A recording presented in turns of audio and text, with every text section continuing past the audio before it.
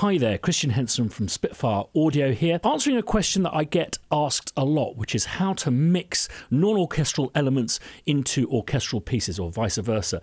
Often people say, you know, could I talk about how to mix synths into orchestras? But more often than not, guitars. And it just so happens that we've recently released ambient guitars, which for me is like if Spitfire Audio was to do guitars this is the way we do it. And we have. And it's been about five years in the making. So much so, it's quite rare for one of these tutorials where I can say I've actually used this library probably more than any other non orchestral library in my entire palette. It's my go to, must have, get out of jail card free. I hate using this word, but directors seem to think that these sounds are very cool. I would tend to agree with them too. It's made by a gentleman called Leo Abrahams, and we first came out with Enigma, which was really his take, his personality on guitars, using guitars in non guitar ways. Then we had a kind of feedback extravaganza with Enigma 2, but now we've packaged it into a single package with a bunch of new, really amazing material that we recorded this year. Uh, one of my highlights is this new Peel guitar. Let me just uh, have a little play of that.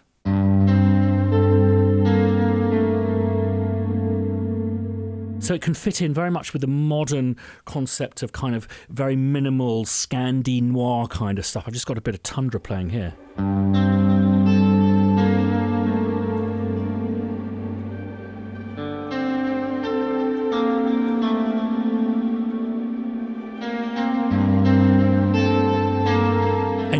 That's one of my highlights from the masses of new material that Leo has recorded up at the Spitfire HQ earlier this year. So, basically, a couple of weeks ago, Oliver and I wrote this.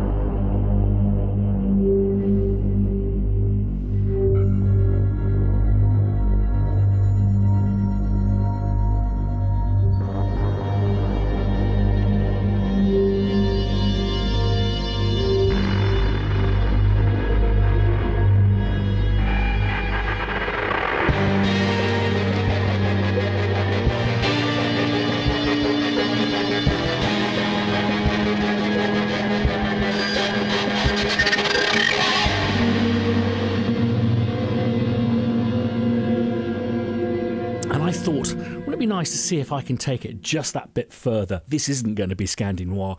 I've put the world, his wife, and they've brought their kitchen sinks along too. A real fulsome, uh, intense track based on that track that you just saw there. I think the key thing for me with uh, guitars, or indeed anything else that you're adding to an orchestral arrangement, is just to think that they're like another choir or another section of the orchestra, and you simply have to arrange it like you would an orchestral piece. So it's not having everything running full bandwidth, full whack all the time. It's about giving things time, their space. And my challenge here was to really make the strings and guitars meld. So at points, the, the strings come out of the guitars, the guitars go into the strings. And then sometimes it's, am I listening to guitars or am I listening to strings? Or is it both, a kind of combined sound? So let me just take you through bit by bit what I've used here. So everything you see in green is AG, uh, ambient guitars. Everything you see in red is additional stuff, mainly orchestral. I've also just got my favourite EXS sine wave bass there as well. So let's have a listen to these first initial things.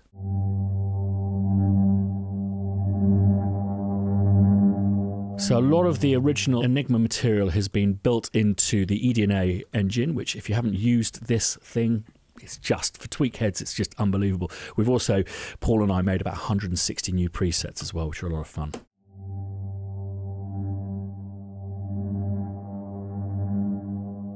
for me, you know, it could be a synth drone, but there's just an organic. You can hear the electrics there. You can hear the the kind of metal pickups and stuff. Man Beast.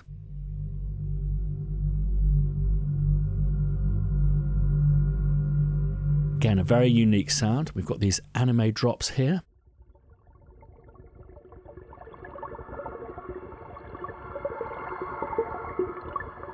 So it ranges from VIs to loops to really esoteric stuff like this, and it's actually quite a huge library, about 20 gigabytes.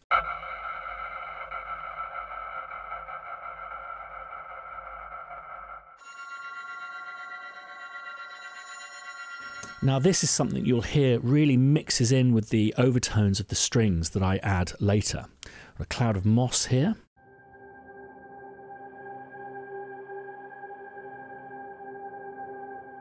Incredible to think that that's made from guitars. Now, here's when I start building up some VIs. So this is the Peel guitar that we had before, and then I'm also combining it with these Trenty plucks. Say preset that I designed, Trent Reznory. Got these little tuning differences that gives it this really zeitgeisty sound. And then I'm also combining with these power chords for this middle section.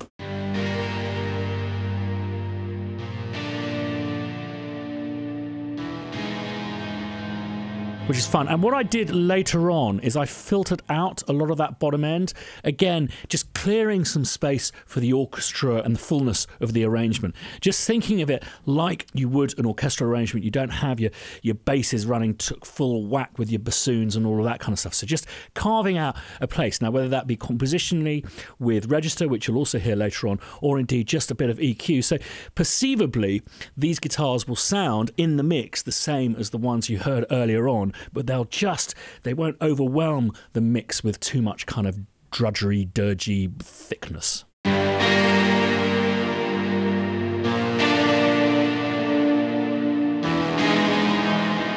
also considerably louder. I think it's very important to understand that loudness or fatness is, is as much about relativity as it is about you know how round or bottomy something is or, or bitey indeed. So you'll hear there's a huge contrast here which will make us feel even though they're playing the same parts even actually we reduce the bandwidth that just by pumping it up by maybe i don't know 10 db or something that there's a sense that we've really gone up another level. Okay so this is my favorite sound which is a pad. And then we've got this awesome bass sound, which is as it says, just absolutely awesome.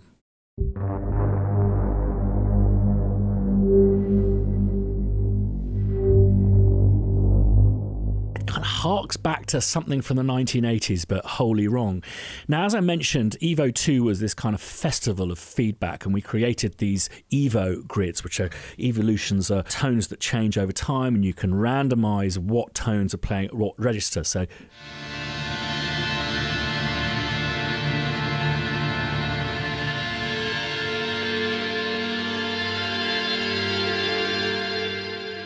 Great again for kind of contemporary urbane dramas. This kind of British indie sound sits really well over strings, over drama. It has a real kind of intensity to it. And then what I've done is I've actually taken the Evos and I've uh, combined them with the tremolo. So let's just have a quick listen to what I've got here. So this is the sound without the tremolo.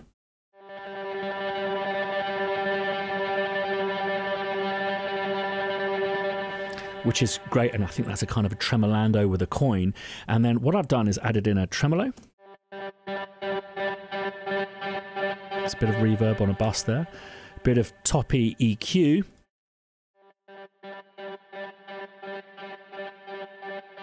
Taking a bit of the bottom end out.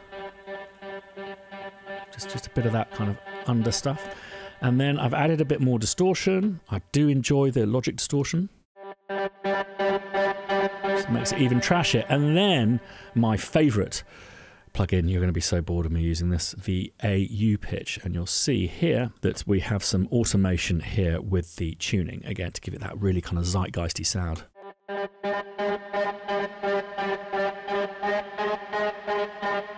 And I've matched that with another eighth note Evo.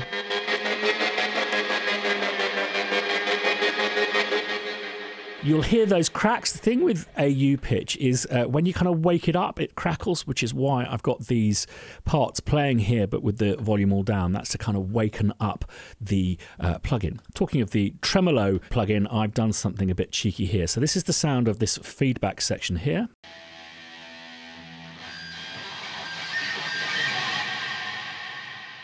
You'll notice I'm working with a lot of reverb, and what I've basically done is I've put the tremolo pedal on, and then I alter the speed at the rate at which it runs. So it starts fast, goes slow, and then fast again. So it has this effect, which is rather cool.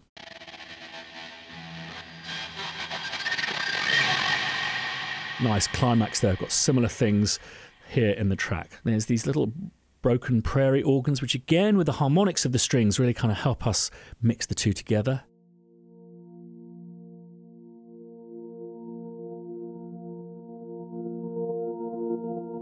I've used the gate there, but with a real soft volume just to give it a slightly broken, stuttery feel without it feeling glitchy.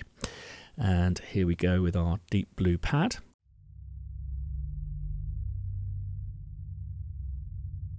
Awesome stuff. And this.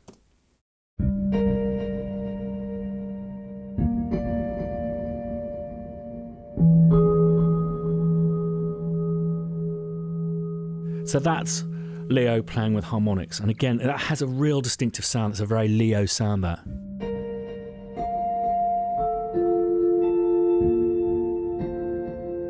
Got a bottom end there that you can filter out if you just want that kind of real top because it's kind of playing on its own. I like it to have that full bandwidth. If it was playing later on, I'll probably chop some of that top out. And this is one of um, Leo's amazing loops.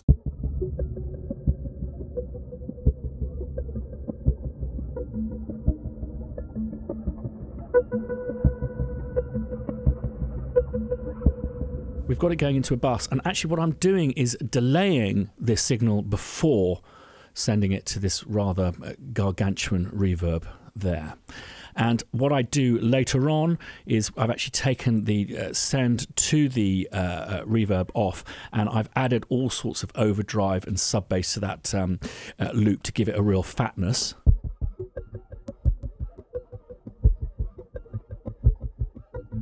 And then later on, I take it up a notch still with a whole bunch of uh, distortion.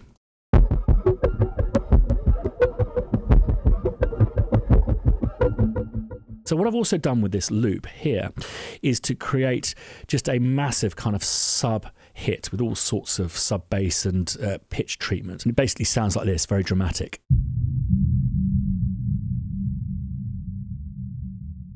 And the reason why I've got the pitch plug on, I know a lot of engineers who actually tune drums so they're in the same kind of tuning or key as the track. Worth keeping in mind, even things like snares and stuff have a have a pitch to them. A way of finding that out, say for example with a kick drum, is, is to actually kind of artificially pitch it up and then see what note it is when it's more in an audible range, and then adjust the tuning so it is complementary, with the root note or the fifth, something like that. So this is without.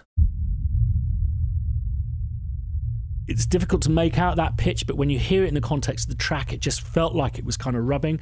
So I just put it in symphony to give it a. Hmm.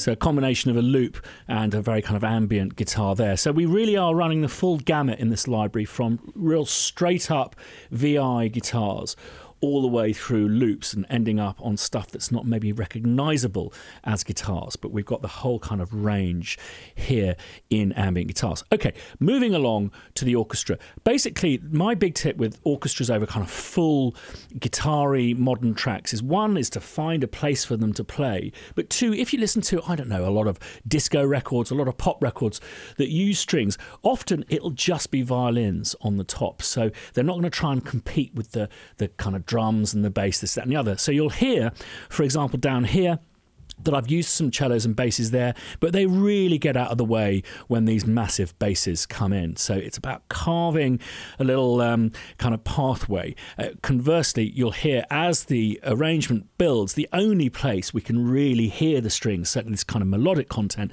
is up in the gods. So you can see it ascending up there. But let's just go through it one by one.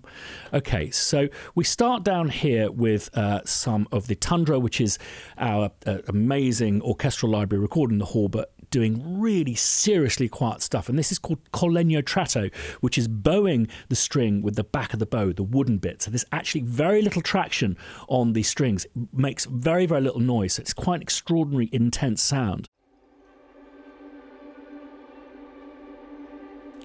And one of the reasons I wanted to use this is because I saw it on a Star Wars trailer, the one for the, the, the, film that's coming out later this year. At the very beginning of that trailer, I think they're using this sound, and I was just blown away that uh, something that uh, Paul and I came up with is, is, is part of the kind of Star Wars universe now. Um, absolutely a, a really proud moment. So we've got that stuff there, and then I'm doing some uh, kind of Inception style brass. It's also worth mentioning when treating orchestras and kind of non-orchestral, non-organic or electronic material together is is I think being kind of puritanical about the orchestral material is is a, a, a fool's errand. So you'll see, say for example, on on these that I put a, a stereo delay on. So let's just have a quick listen to those.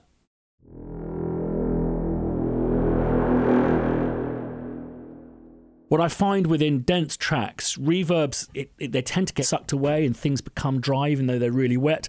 And delays give a sense, or I think a psychological sense of epic scale. It's so loud, it's echoing about the place. And you'll hear here, further down the line, that I've got some slightly more raspy brass that joins it. So let's hear those together.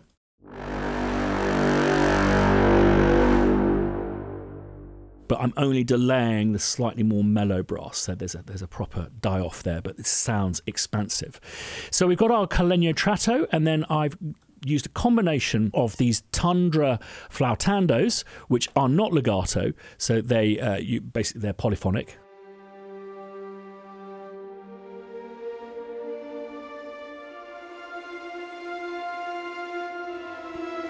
But what you get is a little bit of sucking between the notes. So I've used this chamber strings selection of four sections playing con sordino, so with the mutes on, a really kind of exaggerated portamento.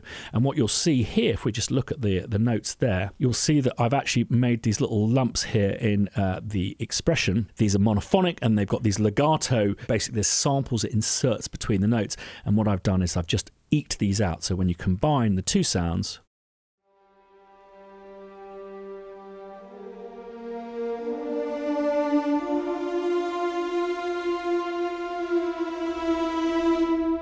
kind of joins up. You don't get that sucking, but also I, it's quite a kind of an exotic sound, the portamento, the sliding between the notes. Then I had a lot of fun on this section. If you recall, we have our Evo things doing all of this pitchy stuff.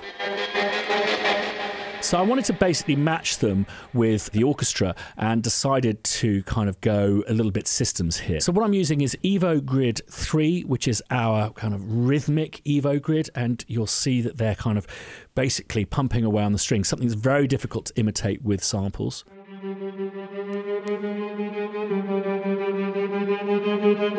So I'm tuning it with AU pitch, and you can hear again that that's doing that funny clicking stuff, which is why I've got this over here, and it's actually muted off. But here's the all of the pitch information there. So we've got that, and then we've also got uh, another Evo. just again just clearing some room for the rest of the track i've done a little bit of notching to take some of the slightly boxy sound out that kind of register. Just making just a slightly more defined sound. And then what I've got accompanying these is a uh, staccato, which is, I believe, is from Albion. I'm favouring the closer mics to keep it tight.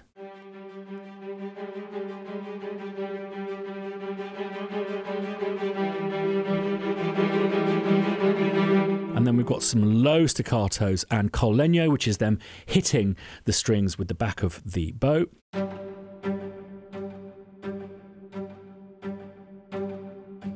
And again, not being puritanical, we've got a delay on here, but it's a very kind of muffly delay, just again to give it a bit of, of presence. We've got some really loud col legnos coming on later on. And believe it or not, I've managed to get some clarinets and flutes into this piece. It kind of helps with the intensity, so let's have a listen to that.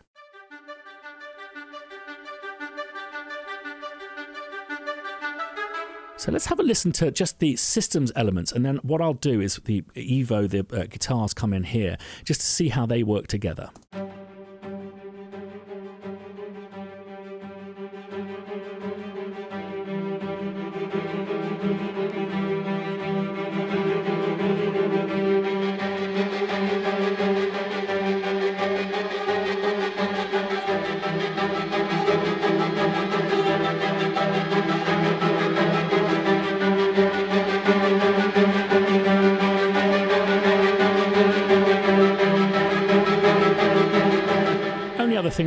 Talk about is we've got see these deep basses here, which are from our symphonic strings range.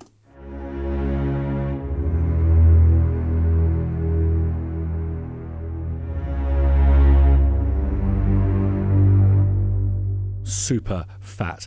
And finally, just to exacerbate this sense of these uh, these these kind of quarter tones, I've got a semitone trill. But what I've actually done is I've tuned it up so it is actually a, a, a quarter tone. So let's have a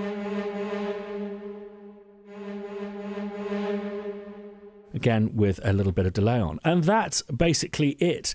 I've got a mastering bus on the uh, the output. As always, chop the very bottom off, boost the very bottom, just a little bit of, of, of hazy kind of airy kind of boost on the very top compressor which uh, because I'm really pumping the output bus, it doesn't need much encouragement to just kind of flatten it out, make it a little bit more sausage meaty for me. And I put an L2 Ultra Maximizer on it as well for the sake of kind of staking my claim within the loudness wars. So, basic kind of summary is to just think of things that aren't orchestral as part of the orchestra. Make room for them, make room within the orchestra, make room within the guitars themselves. You know, don't fall in love with these sounds, this full bandwidth, if it's not giving any room to anything else. And just at the very end, smash the bejesus Jesus out of it. For more information on ambient guitars, or indeed any of these libraries mentioned here today, check out the video description down below. Be interested to know if there's any other questions you'd like me to answer in the future. Stick those in the comments below. One of those, if you like this video, is brilliant. If you haven't subscribed yet, lots of fascinating stuff coming up. If you want to be notified the next time we put up a video, ding that bell. See you next time.